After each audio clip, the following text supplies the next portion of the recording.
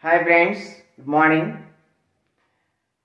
Two trains start from stations A and B and travel towards each other at a speed of 50 kmph and 60 kmph respectively. At the time of their meeting, at the time of their meeting, the second train had traveled 120 kilometers more than the first train.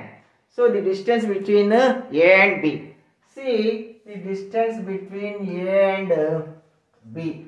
Two trains started from A and B towards each other with speeds of uh, 50 kmph and 60 kmph respectively.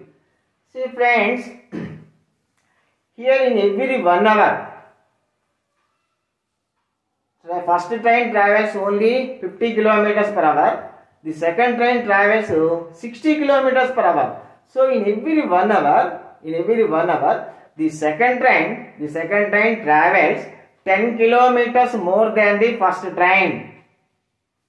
In every one hour, in every one hour, the second train, second train travels uh, 10 kilometers more than the first train.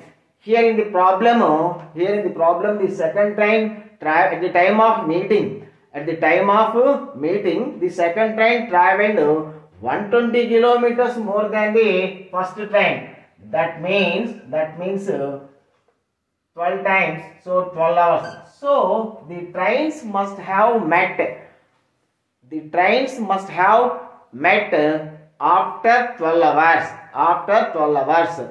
So in 12 hours, in 12 hours, train A travels 12 into 50, 12 into 50 plus this train travels uh, 12 into 60, 12 into 50, 12 into 60. Total distance you will get the 600 plus 660 is 1260 is 720.